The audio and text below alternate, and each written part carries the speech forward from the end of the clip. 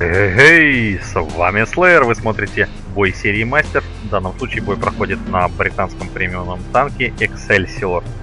Карта Жемчужная река и стандартный бой у нас за точечки B7, B8, C9 и так далее. Обычно здесь встречается огромная куча тяжей и, собственно, я еду сюда же для того, чтобы продавить тяжи. Здесь очень много КВ у врага, три штуки КВ-1. Это означает, что мне прям сразу можно начинать стрелять голдой. Потому что ББшек с пробитием 91 не хватает для борьбы с КВ-1. То есть танк очень сильно зависим от голды.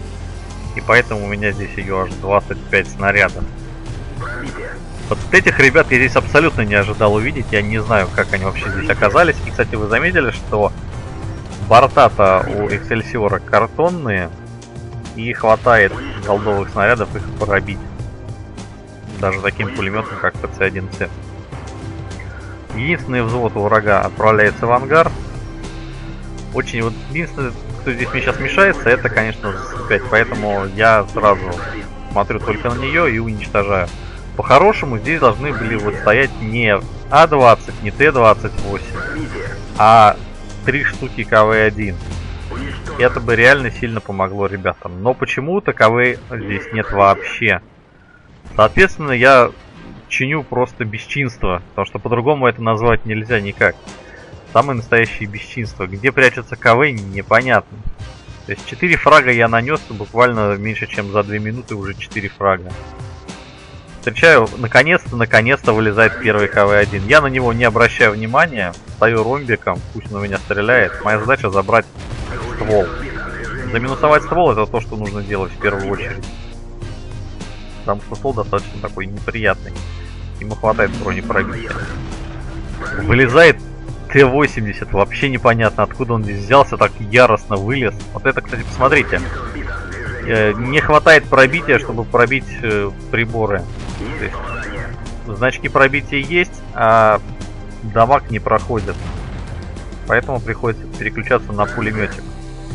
И опять-таки пуляю голдой. То есть реально с пробитием у Эксельсиора полная беда. Это танк, который жрет голду вообще просто, не знаю как, наверное, как никакой другой пян, танк пятого уровня не жрет так голду, как Эксельсиор. Я имею в виду премиум машину. То есть без голды ему очень тяжело сражаться, даже с одноклассниками. Ну что ж, пока все дело рассказывал, у нас уже 5 фрагов стало. И сейчас будем дожевывать Т-80. Доживали. На счету Эксельсиору уже воин, уже приятно. У врага остается все на все 3 машины. Счет 12-0. Это просто избиение младенцев. По-другому это назвать никак нельзя. Замечаем еще одного КВ-1. Зачем он постоял весь бой? А в оборонной позиции вообще непонятно, лучше бы он помогал на том направлении, где проехали наши основные силы. Но он почему-то этого это не сделал. И, собственно, он, как и другой КВ-1, виноваты в том, что мы вот так вот безжалостно истребили почти всю команду противника. Хорошая достаточно скорость перезарядки, то есть 3.34, как вы видите. И это говорит о чем? Это говорит о том, что мы можем, мы можем очень успешно и быстро отстреливаться. То есть в этом плюс скорострельность, это плюс орудие, низкая скорость, это минус орудие. Собственно, счет 14-0. Это, ну я даже не знаю как назвать, 7 фрагов на счету Excelsior, половина фрагов на счету Excelsior. Сейчас я горю желанием доехать до последнего фрага. Пишу, чтобы не брали. Надеюсь, надеюсь взять Редли Волтерса, но, скорее всего, мне, конечно же, не дадут это сделать. Просто потому что не успею добить его. Там Ковенантор его разберет. Вот, кстати говоря, вы посмотрели, танчик достаточно динамичный, но вот главный его минус это картонные борта и отсутствие хорошего пробития. На этом все, смотрим итоги боя. Вы тоже в восторге от этого великолепнейшего боя? Получено 7 медалек. Мастер, бронебойщик, стрелок, стальная стена, воин, невозмутимый и снайпер. Сделал 29 выстрелов, попал 28 раз. То есть прекрасно. Ну, бои проходили на очень маленькой дистанции, поэтому промазать было практически нереально. Хотя пушка здесь, конечно, не самая точная. Уничтожил 7 машин противника, нанес почти 2300 единиц урона.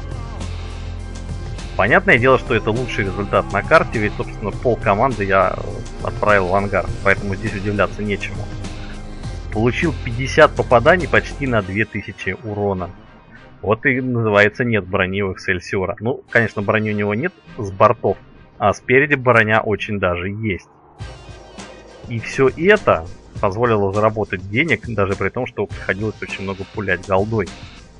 Ну и понятное дело, что это рекорд, знак классности мастер, все дела. И всего-навсего за 5 минут боя. На этом все. Ставьте лайк, подписывайтесь на наш канал, качайте наш модпак, участвуйте в наших викторинах и других активностях. И спасибо за внимание.